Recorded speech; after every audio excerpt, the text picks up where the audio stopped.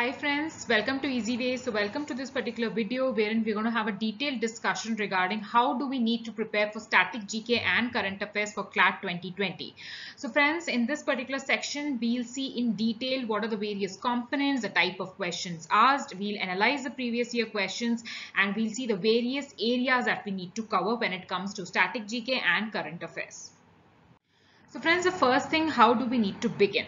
So what you need to do is first go and watch a particular video which is known as how to prepare for CLAT 2020 okay so we have prepared this video and we have divided the coming months into various slots. Okay and we have discussed at length what needs to be done in each of these time slots. Okay and uh, the link of this particular video is there in the description box. Okay as well as we will be placing this link at the right hand side corner also. So if you click there on an icon you'll be able to go to this particular video.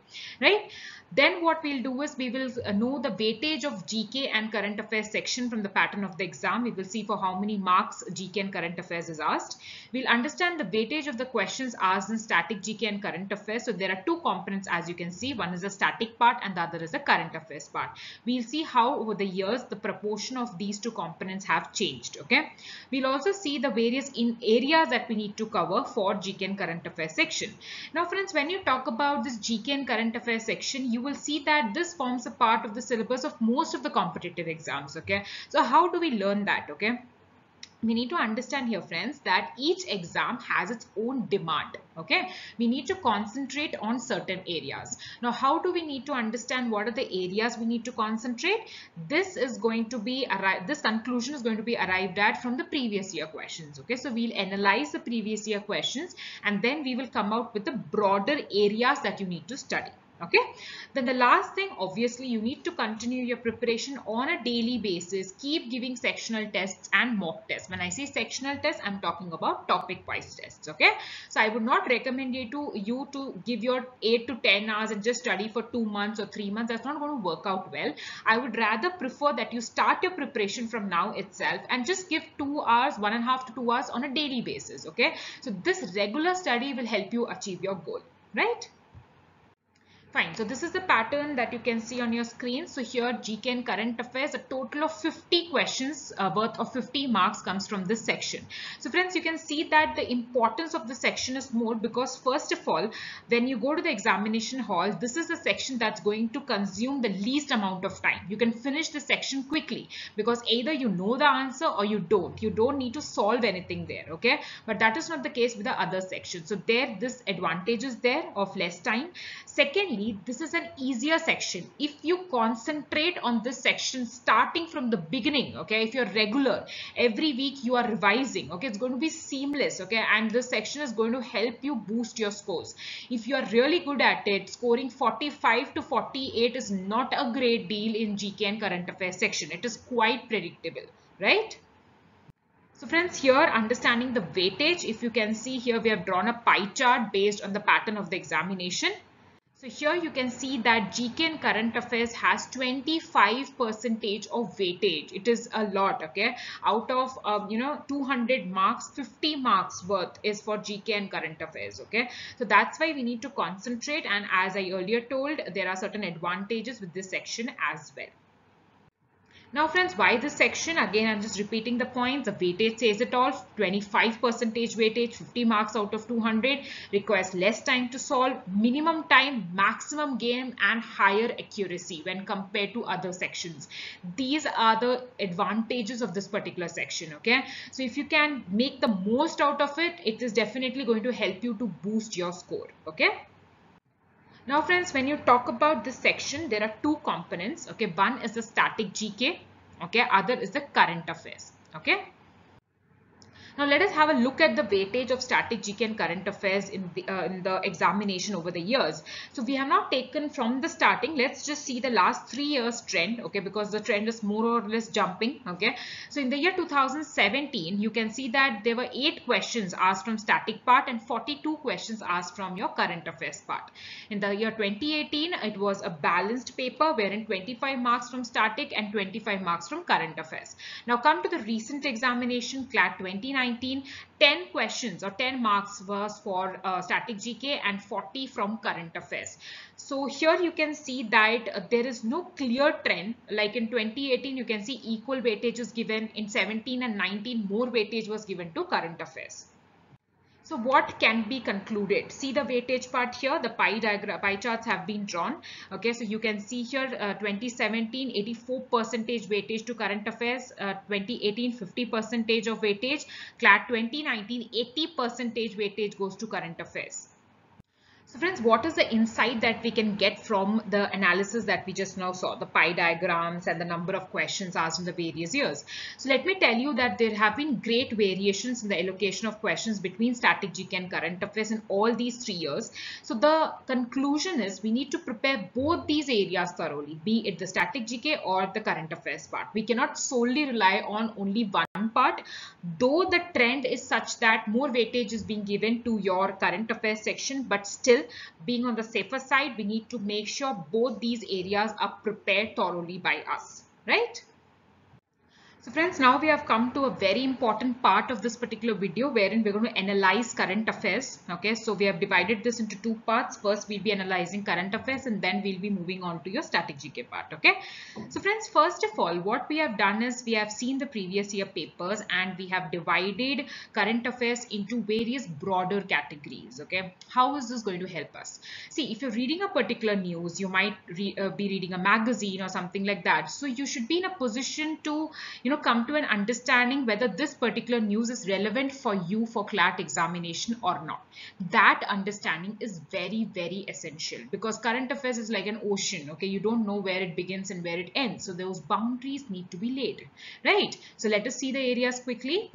So sports, national and international news, definitely if any important event has taken place, okay, who has won that particular important sports, okay, uh, and the particular person, sports personality belongs to which country, okay, such kind of questions are usually there in the paper.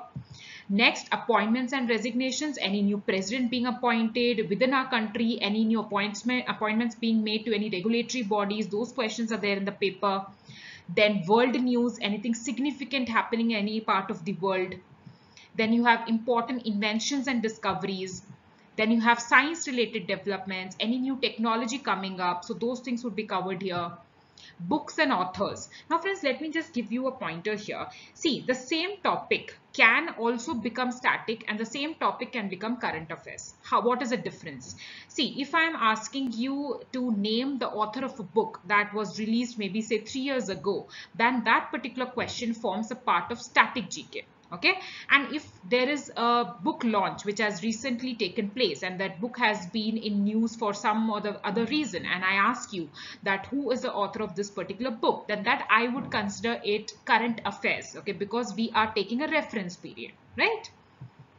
Awards national and international. Now again here let me tell you how awards can act as static as well as your current affairs part. Suppose if i ask you so and so award is given for what okay for what uh, field do you give this award for? Okay in that case that particular question would be called static question because it is not going to change year after year. If i'm awarding uh, uh, if i'm giving an award for bravery and if i'm naming that award xyz then it is going to stay the same way year after year. The recipients are going to change. So if i ask you who has received that award then that forms a part of current affairs right? So this is a demarcation that you need to understand then you have schemes launched by the Union Government of India, state government. So here even the state government schemes are asked sometimes if they are very prominent, right? Next pass policies, portals, apps launched by the Union Government of India and the state government. So whatever policies that the government is coming out with, okay, there might be some uh, portal that the government has launched. You know, those things which are in news, they again form a part of your paper. Next, news related to regional organizations like SAARC, ASEAN, BRICS. Where was a BRICS summit held recently? Okay, which is the latest member to join uh, so and so organization? These are very probable questions. Okay summits across the world again not only regional organization if there are important summits that have uh, you know that are taking place across the world that also can come in your paper then surveys, indices, ranks and reports. So here again friend let me tell you that for example if there is World Happiness Report. If I ask you a question who releases World Happiness Report? So this question is static GK. Okay. If I ask you what is India's rank in the recently released World Happiness Report or index this particular question is current affair. Because every year the ranking is going to change but the organization releasing a particular report is not going to change. So that is static gk and the current ranking comes under current affairs. Okay? Then you have beauty pageants india and the world. Again this also forms a part of your paper. Firsts in India and the world. If there is something new that has happened, okay, and there's a world record set, for example, in an event, okay, so that again can form a probable question in the paper. Then bills passed, laws made by the union legislature and the state legislature. So legal GK is also asked, okay, wherein important amendments, important, you know, bills being passed in the parliament or the state legislative assemblies, all these can form a part of your question paper. Then judgments passed by the Supreme Court and the High Courts of India, very important, okay, so they usually focus on this area also. Next, banking sectors, any important mergers, appointments, policies brought out. Then commissions and committees. So usually many commissions are framed uh, to take certain decisions. So who heads that committee, for what that committee has been framed. Uh, so these kind of questions are there then space related news india and world like nasa okay so this is very common then defense related news any new equipments being you know uh, purchased by india from the from any other country in the world so that can be a probable question okay then share market any news important things happening in the share market then predictions of India's growth rate by various organizations. See, various international organizations usually come up with the data like they predict, okay, what is going to be the growth rate of India in maybe the coming year or the next year. So these predictions are also asked in the paper then visits of uh, dignitaries to India and vice versa. For example, a, um, the Prime Minister of any other country visiting India for any special purpose. So if that is in the news, then that can form a probable question. Okay. Then India's ranking in the world in terms of production of various commodities. For example, in agriculture, where does India stand? Okay. For example, in exports of electrical items, where does India stand? Okay. So these kind of important information can also form a part of your current affairs. Business news, again, mergers and acquisitions between industrial uh, industrial houses. Okay then union budget and economic survey related announcements. So there are so many schemes and allocations made as part of your union budget. Economic survey gives you uh, an understanding of the economy. Okay, various indices are released or maybe some important data is given out by the government. So that again can come in your paper. Then you have geographical indications. This is a must. Okay, usually two to three questions are seen sometimes. At least one question you would find that in the paper. So if GI tag is given to any commodity, you should be aware about that. Then comes important dates, weeks and their current themes, important announcements made on these days. So this is very important. So, you know, so and so day is celebrated. Okay, any week is celebrated. For example, financial literacy week is being celebrated. Every year a different theme is given to that particular day. So that is a part of current affairs. And usually many announcements are made on these days. Now again friends, here you need to demarcate one thing. If I ask you 15th of October, for example, is celebrated as what? So that is a static question. But if I ask you what was the theme of that particular day, then that theme changes every year, okay? But the date will not change, okay? So the theme that changes every year would be a part of your current affairs, but that particular date, okay, would be a part of your static GK, right? Then comes art and culture related news, any important festivals being celebrated, okay? Then obituaries, miscellaneous. Apart from that also there can be some questions which I might not be able to place in the product categories that I've seen. So I've put that under miscellaneous. Okay, so what we will do, we will quickly have a look at some of the previous year questions, okay, based on the broader categories that we have seen. We have just picked a handful of questions, okay, so that you get an idea as to, okay, these are the kind of questions that were in the paper, okay. So here, for example, we have taken the sports category, national and international. So here the question was motto of the Commonwealth Games 2018. Very simple, okay. Then who won the men's singles title in Australian Open? So again, they asked about a very famous uh, tennis tournament, Australian Open, who has won that title. Okay. Then appointments, resignations. Here you can see who has been appointed in 2018 as a principal scientific advisor to the government of India. An important post being filled. So again, this question was there in the paper. There was a question regarding Chief Central Information Commissioner. Okay, so this again you can see this was the latest question in fact in 2019 science related developments name the part of the human body reclassified as an organ due to research conducted in the, the past decade okay? So again this can be a probable question because this was something which uh, related to the reclassification of an organ okay? Books and authors. Who's the author of the coalition years 1996 2012 okay then again, the book title God Save the Honorable Supreme Court was authored by. The book title Anita Gets Bail was authored by. These two books were in the news recently. That's why these two questions were there in your 2019 paper. Then awards, national and international. The winner of Jnanpith Award 2017. Which Indian personality is the recipient of the Oxford University's Bodley Medal 2019? Okay, so here again you can see these uh, questions on awards, medals, etc. Here, this in the 64th Filmfare Awards, who won the Best Actress Awards? A very simple question. This was also there in the paper. Schemes launched by the Union Government of India and the state government. You can see here uh, the question on Ujala scheme was asked. Okay. Then friends, let us move to the second important part, which is the static GK part. Okay. So here you can see that we're going to have a look at the areas that we need to cover in the similar manner that we have seen for current affairs. So Constitution of India, there are very basic questions uh, regarding the Constitution of India, like even the basic features or some important facts, which can also come in your legal aptitude section, though the chances are less, but still there also you can find those questions. Plus in the static GK part also you can find them in the form of a legal GK. Okay. Indian history. There are very simple questions related to history, maybe the first governor general and etc. So very, very basic questions geography they can ask you about for example you know a country's capital or you might also be asked you know the topography or you might be asked the vegetation. Very basic questions not in detail. Science and important disciplines the study of x is called what? Okay so these kind of questions sports based questions. Now if i say sports based question how can a, a sports based question be under static gk so if i ask you a term for example if i say googly is a term which is related to which sport okay? So now if i'm asking this question this is a static question though it is from sports because googly is always being uh, associated with cricket. It is not going to change year after year okay? But if i ask you this year's asia cup was won by which country? Then this is a part of current affairs related to sports right friends? Indian culture, various festivals and traditions or literature, for example, famous books, okay, so it is, uh, it belongs to which era or it belongs to which state or which, you know, uh, language and etc. Basic of economics, okay, for example, you might get a very basic definition of inflation, you might get a very basic definition of GDP.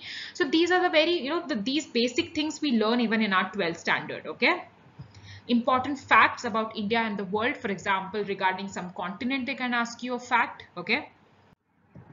Awards, again, I told you the example previously. If, I say, uh, for example, Pulitzer Prize is given for which field? If I ask you this question, okay, it is under static GK. The same question, if I ask you who has won the Pulitzer Prize for this year, that comes under current affairs, right? You got it, friends? Planets okay they can be hard facts or very simple facts asked about planets. You need to be aware about that solar system. Countries their capitals and currencies very simple. Military exercises between countries these are definitely asked okay. Important days as i told you the example there. National parks wildlife sanctuaries biosphere reserves. World heritage sites have been asked and if there's any latest addition to it also is being asked important international organizations and their headquarters okay? So for example where is world health organization headquartered? Okay static gk it's not going to change year after year five-year plan. So there can be question on five-year plans like the last five-year plan was which of the following plans? Is the 12th five-year plan was the last five-year plan? Okay. They might ask you five-year plans have been replaced by what kind of plans? Okay. Or which institution has replaced the planning commission? So all these very basic questions can be asked demographic facts of India based on your census 2011 like the literacy rate of India, the employment rate of India, the population living in the urban areas or the population living in the rural areas. Very simple, only percentages.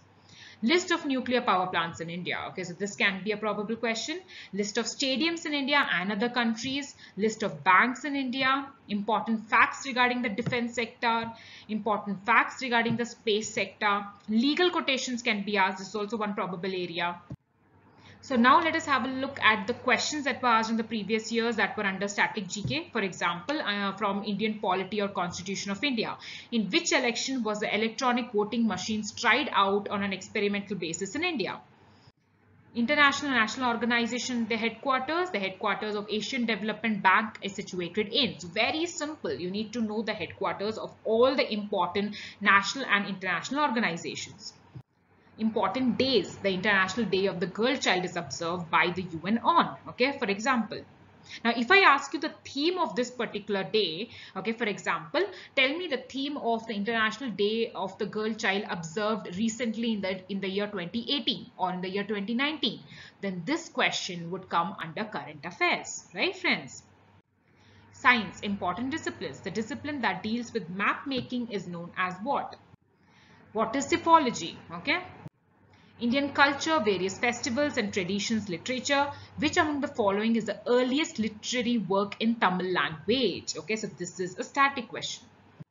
Awards. The Golden Peacock Award is given for excellence in. Now, this is a static question from award. If I ask you in the year 2018 or 19, who has won the Golden Peacock Award? That becomes a current affairs question. Okay. Planets. Which planet is known as a red planet? Okay friends, so here we are, we have seen the various questions, we have seen the examples of such questions asked in the previous year papers. Now, very very important question that should be striking your minds, okay. How do we cover the current affairs? Okay, because every day there is something happening. Every day there is some award being given. Sports events are uh, taking place each day. Okay, so how do we cover it? Obviously, it seems a little uh, hectic, okay, but it is not. Let us see. First of all, friends, you need to understand the requirements of the examination. What type of questions are asked? That is the reason we spent some good amount of time to see the broader areas. B, we also saw the type of questions or the examples that were asked in the previous years. Now, when you're reading a news, each day, whatever you're covering, you would be sure that, okay, this is a probable news for me for my examination. So let me spend my time on this news. Okay. If you see a news wherein you are like, okay, this is not going to come in the paper. So let's not waste time on this. Okay. This is the first requirement. Second requirement is there are so many basic things to remember. What can be done? How do I remember such, you know, so many news items, you know, what do I do? So friends, there is a very simple uh, way out for it.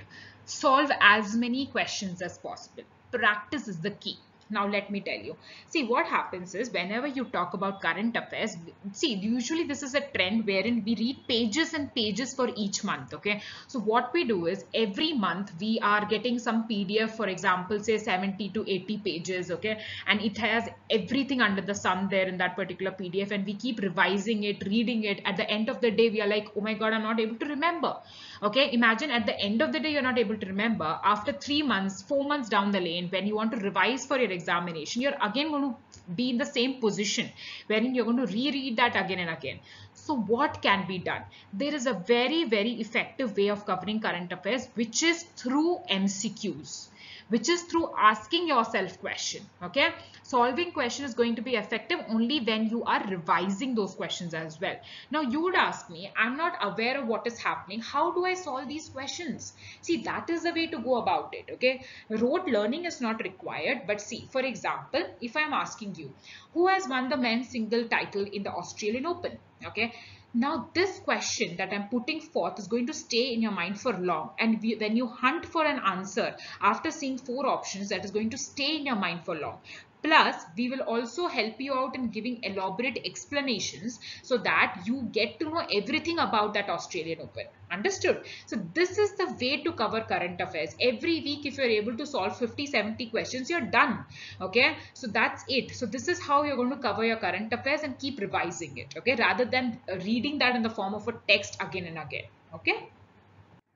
Now friends, how many months to cover? What should be the coverage? So the current affairs should are usually asked uh, for one year period.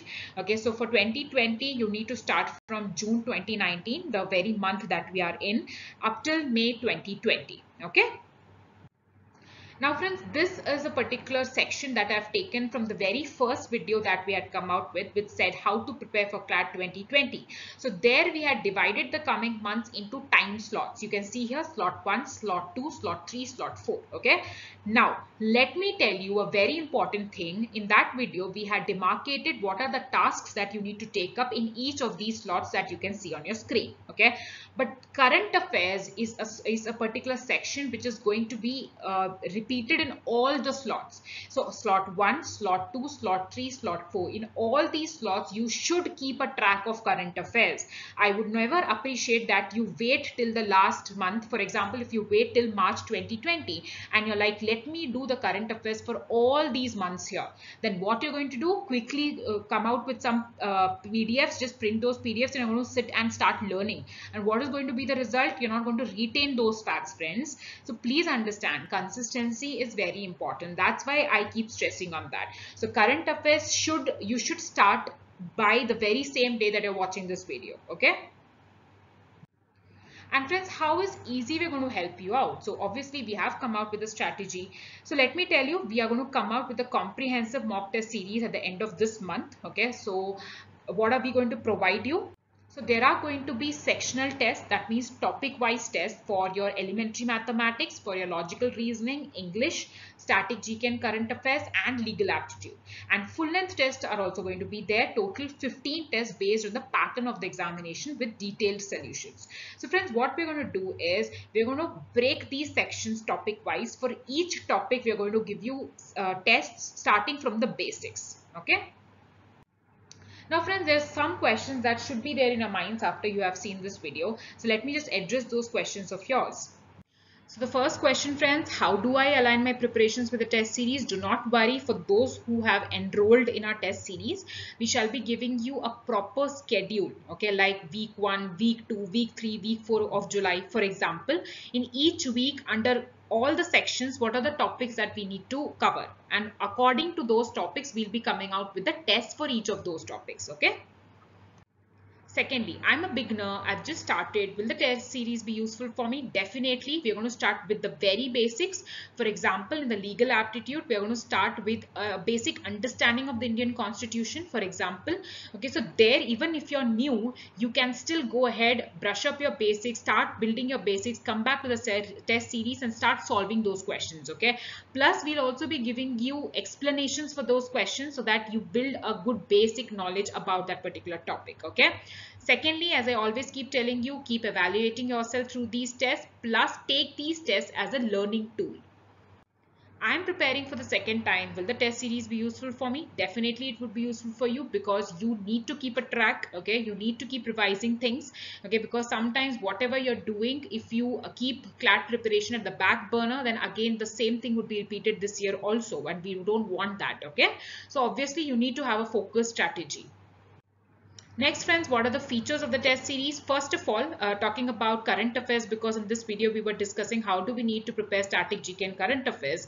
So through these tests, your current affairs coverage is going to be complete. Okay, we'll give you all the important information starting from June 2019 up till May 2020. Okay, regular sectional tests would be provided on all the other section also. Full length mock tests are going to be there. There's going to be a portal wherein you can place your doubts Regular live sessions are going to be conducted by the faculty and on request as well. There's going to be guidance and strategy. So friends, that's the reason we're going to keep only limited seats available under this test series.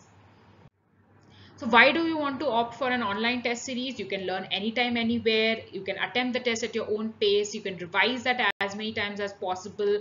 You can get personalized strategy and guidance from the mentors easy to manage along with the regular work that you're doing. You might be in your boards uh, you might be in your 12th sorry preparing for your boards. You might be in enrolled in some other college and still you know aspiring for the next year CLAT examination.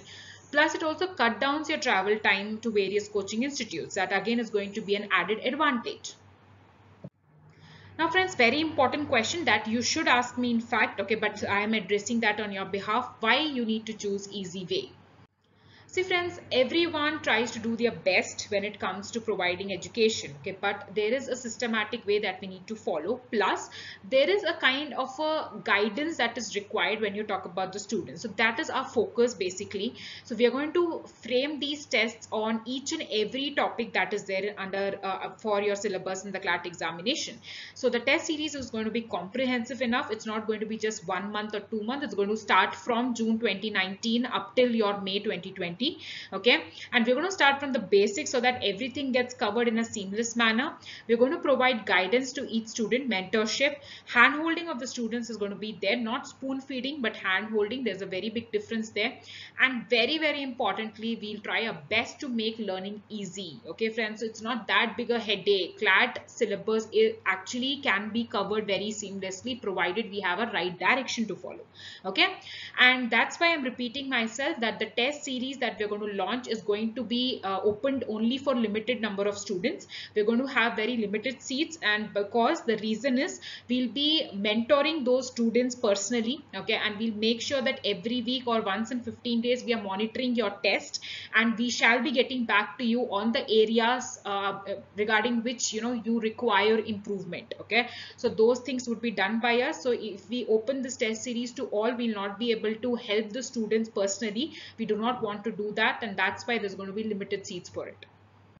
So friends, that's it. And this is where we come to an end. It has taken half an hour for us to discuss, but it's worth the discussion, I hope. And if you really found this video useful, please do press the like button. Please share this video with your friends, maybe on your Facebook page or any other portal that you deem fit. And please do press the subscribe button. Just subscribe to our YouTube channel. If you have any doubts, mail us at mail at. Give us a call on 8968984790. Till then, friends, as usual, keep practicing, keep revising, and more importantly, I want to see those smiles on your faces. So do keep smiling, friends. Thank you so much.